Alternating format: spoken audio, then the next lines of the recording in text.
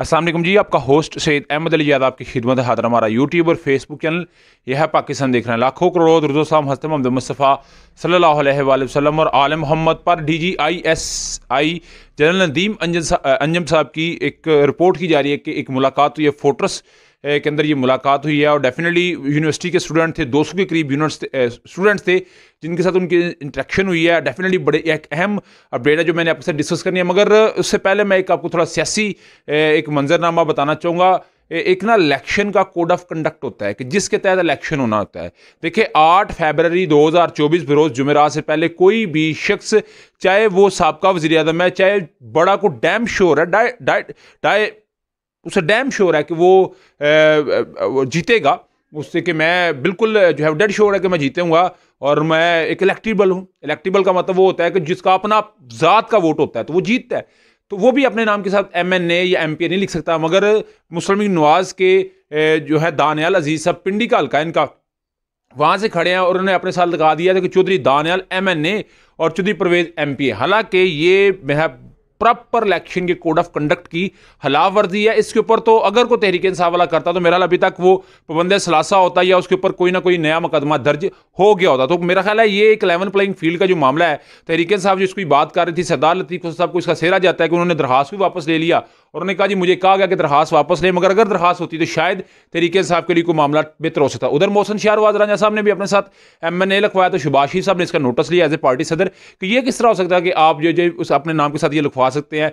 मगर दानियल अज़ीज़ साहब ने ये काम किया है, दानियल चौधरी साहब ने तो देखना पड़ेगा। पहले पार्टी के साथ अख्तलाफात थे, अभी जो है उनका ये मामला है।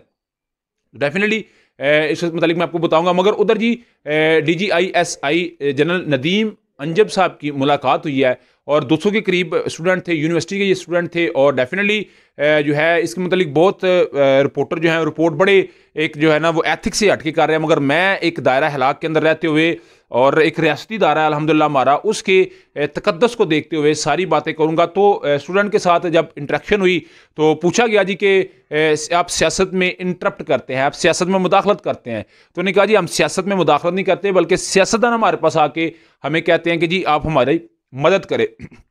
तो ये हर काम में हमें मदद के लिए कहते हैं, हम इनको, हम इनके पास नहीं जाते। तो ये देखें, मौजूदा इस वक्त जो प्राइम एजेंसी के सरबराह हैं, खुफिया के, वो ये बात कर रहे हैं।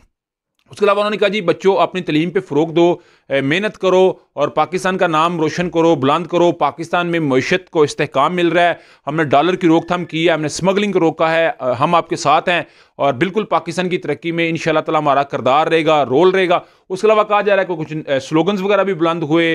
कुछ लोग कह रहे हैं कि इमरान अहमद खान ने सब की ज़ात को भी डिस्कस किया। गया मगर मैं उसके ऊपर तो बात अभी नहीं करूँगा। मगर उनसे जब पूछा गया, कुछ ऐसे सवाल भी पूछे गए कि जी, अगर हम अभी सवाल करते हैं तो क्या वीगो डॉलर्स तो नहीं आ जाएँगे, क्या हमें उठा तो नहीं लिया जाएगा? उन्होंने कहा, जी, ऐसा नहीं होगा प्राइम एजेंसी का सरबरा आई का सरबरा आपके अंदर बैठा हुआ तो ऐसे कैसे हो सकता है कि आपके साथ ऐसा हो? तो मगर, एक ज़बरदस्त किस्म की इंट्रैक्शन थी, इससे पहले वजी अजम अनवारुल्ला काकर साहब रहे। फिर मेरा ख्याल है, इस दो सौ बच्चों के सवालों से और उसके आंसर से एक फ़ज़ा पैदा होगी। मेरा ख्याल लोगों के अंदर एक मेंटली जो है ना, वो थोड़ा सा सुकून आएगा और एक बड़ी मेरा ख्याल हवा बन गई हुई थी और खसूसी तौर पर यूथ के साथ बड़ा सलूक नारमा था क्योंकि आप जानते हैं ज़्यादातर यूथ का जो टिल्ड है, वो इमरान अहमद खान नसर की तरफ़ है तो वो हर बंदा इस दायरा को मेरा ख्याल है, एक जो लाइन थी सुरख, उसको क्रॉस न करना चाह रहा।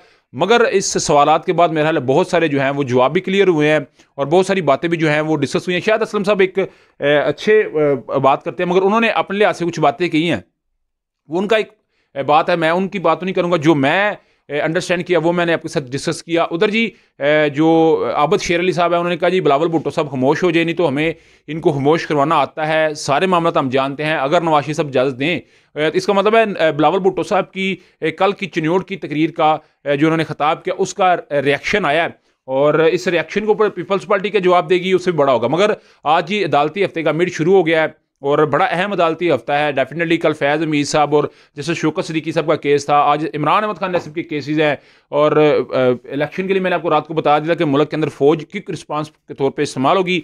दफ़ा एक सौ चालीस का नफाज बारह फेबररी तक पूरे पंजाब के अंदर खसूस तौर पर होगा। तो डेफिनेटली एक बड़ी अहम अपडेट है जो आपके साथ डिस्कस करें अभी तक का व्लाग तब तक के बेट थी। व्लाग भी पसंद है तो फिर चैनल को लाइक सब्सक्राइब अपने दोस्तों शेयर कर लीजिएगा। नेक्स्ट वीडियो के लिए होस्ट को जैदी अल्लाह का हमें असल